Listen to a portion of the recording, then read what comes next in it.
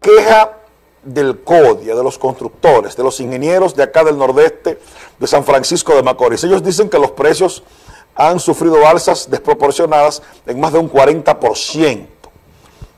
Hablamos de materiales de construcción. Yo realmente tengo mucho tiempo que no visito una ferretería para comprar arena, cemento, blo, entre otros materiales. ¿Ustedes han comprado materiales en estos últimos días?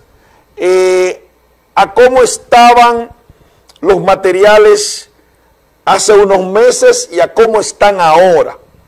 ¿Realmente se ha sentido una alza en los materiales de construcción o esto más bien es exageración?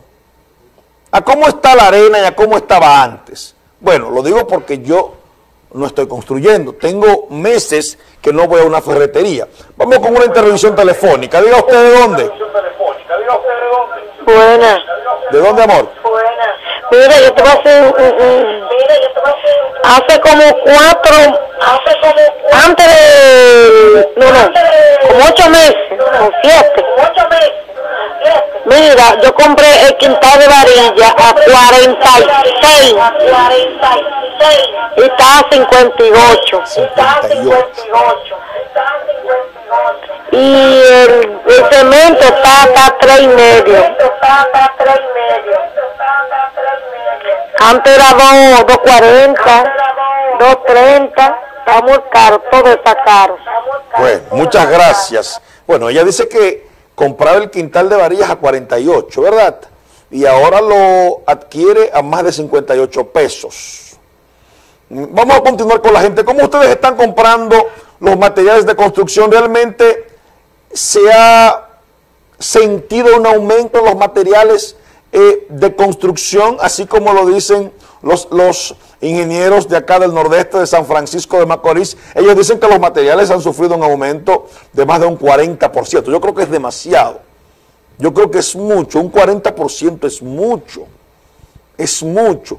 Yo entiendo, bueno, que, ah, eh, que se han dado algunas alzas, pero un 40% es demasiado. Si hablamos de un 40%, estamos diciendo entonces que no se puede construir. No se puede construir.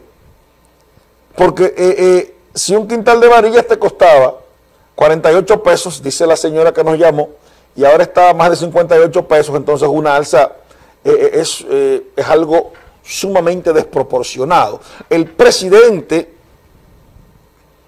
tiene que actuar en consecuencia. Tiene que implementar medidas enfáticas, contundentes, que puedan controlar los precios y las alzas.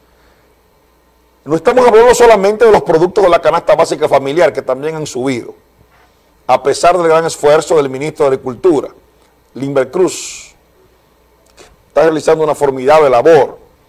Hay alzas de los productos de la canasta básica, pero a esto sumarle productos, eh, materiales de construcción, es mucho, ¿eh?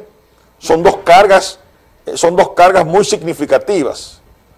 Son dos cargas muy significativas. El gobierno tiene que implementar, tiene que buscar una solución a esto, porque esto es muy preocupante y deja mucho que decir, amigas y amigos, deja mucho que decir. Bueno, eh,